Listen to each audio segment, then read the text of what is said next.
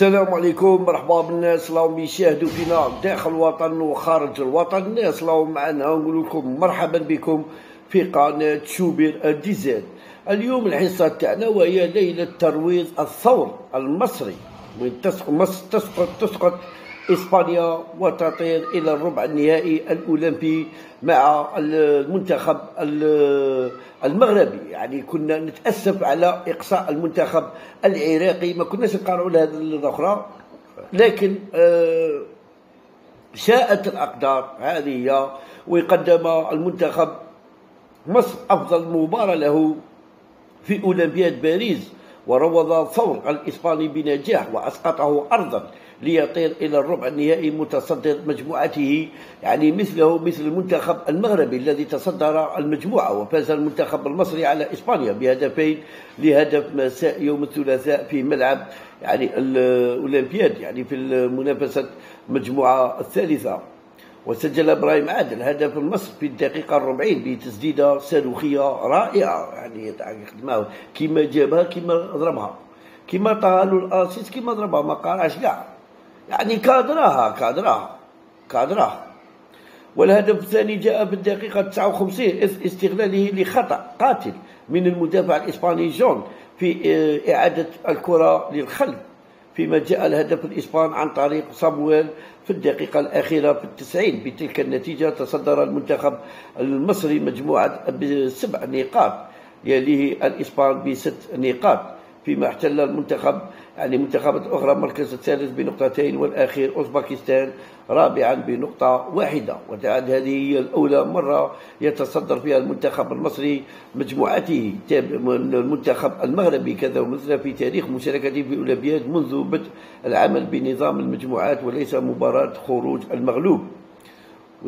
سيلاقي المنتخب المصري وصيف المجموعة الثانية والتي تضم كل من اليابان باراغواي مالي والكيان الإسرائيلي. لكن اليابان ضمنت بالفعل صدارة المجموعة وسيتلاقى يعني سيلتقي سيلاقي إسبانيا وستقام مباراة المنتخب مصر يوم الجمعة المقبلة.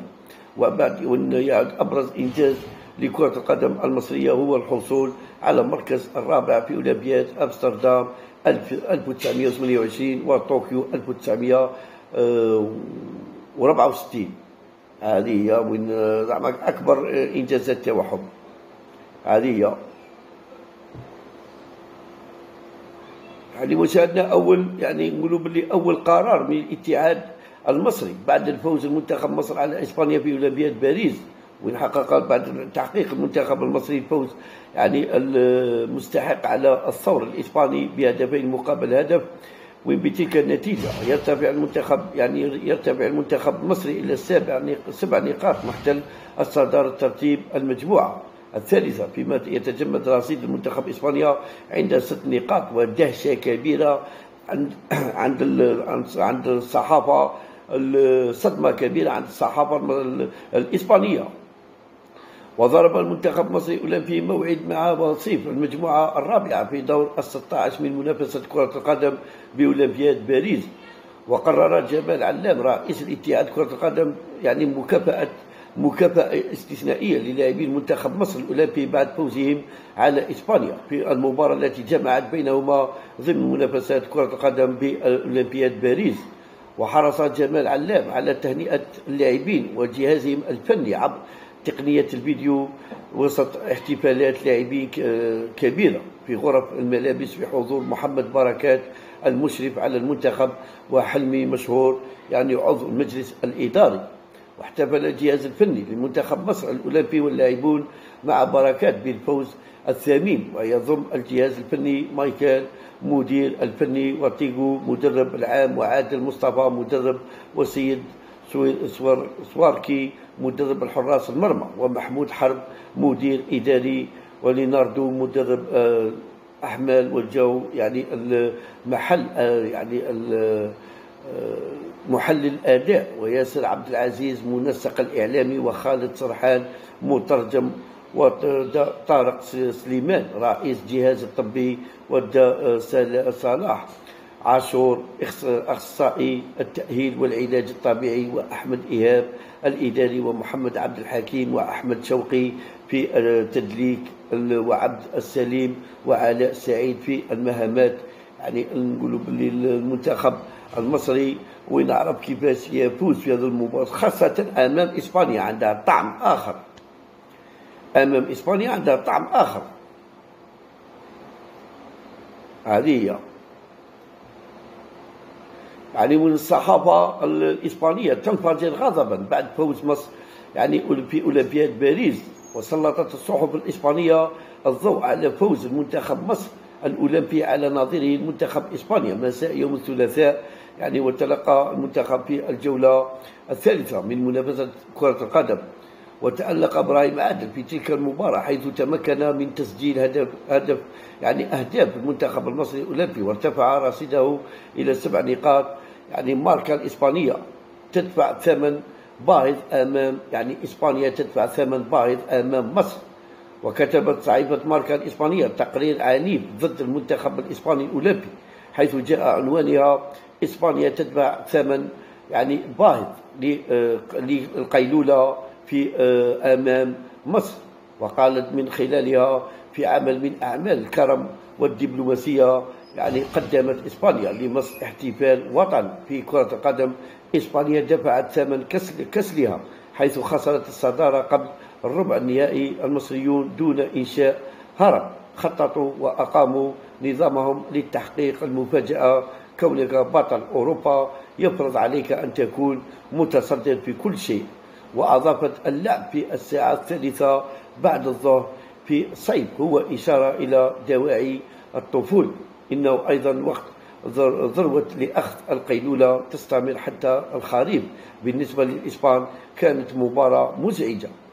وأوصلت لقد فهمت لقد فهمت مصر مع النني مسؤول عن عمليات في وسط الملعب أنه ضد إسبانيا. في أي فئة عليك الانتظار حتى يحدث يعني الخطأ باستثناء تسديدات بعيدة من فوق إلى القائم؟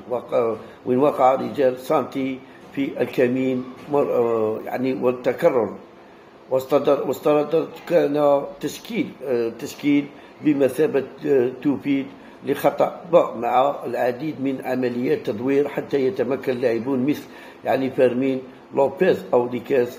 يعني أبطال اليورو من الراحة. بهذه الشكل سرق مصريون كرة الكرة وانطلقوا مثل الصاروخ إذ سقطت الكرة أمام عادل فنان متركز على اليسار والذي يلعب في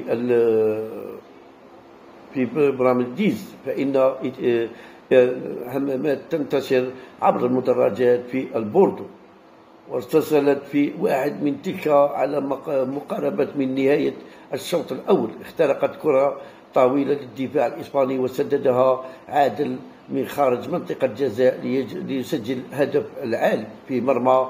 يعني الإسبان لم يكن الأمر غير عادل يعني لأنه كان ردة فعل لخطأ من يعني منفذ جيد. لقد ابتعدت إسبانيا كثيرا عن المباراة لدرجة أنها لم يعد معروف ما إذ كانت في بوردو أو في ملعب آخر. وتبعت يعني وقيل أن أن يخاف يعني وقبل أن يخاف المصريون من تغييرات إسبان وصلت حقيبة أخرى من الحلوة فقد أهدر باتشيكو الكرة بشكل سيء. ومرة مرة أخرى سجل إبراهيم عدل بمغناطيس في مرمى الإسبان واختتمت أزعجت هزيمة إسبان والتي كانت تحتضن يعني تحتضن آمال في بعض اللعب الفردي مثل ضربة رأسية من كامبيلو يعني ضد القائم كانت مصر هي التي استمتت بنفسها على الأرض الملعب وقلصت ضربة ضربة الرأس من ساموا مسافة وخلقت يعني الآمال ضئيل ولكن الأوان قد فات ساعد يعني ساعدت إسبان في جعل يعني حفلة مصر لا تنسى وين قيلولة مكلفة في أي فئة هناك وقت للتعلم. هذه هي وين بصحتهم فازوا بصحتهم خويا. هذه هي فازوا مصاروا فازوا. عندهم الحق.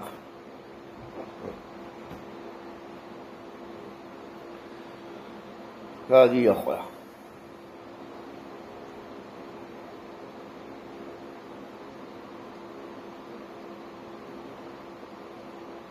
آه شوبير هضرنا على بنيلي يا ولي بنيلي بنيلي بنيلي ما تنساوش عطونا j'aime commentaire وبارطاجونا les vidéos. وان شاء الله دائما معكم بجديد وتفعيل الجرس واللي مشي abonné abonné معنا. وربي يحفظكم ويحفظنا معكم.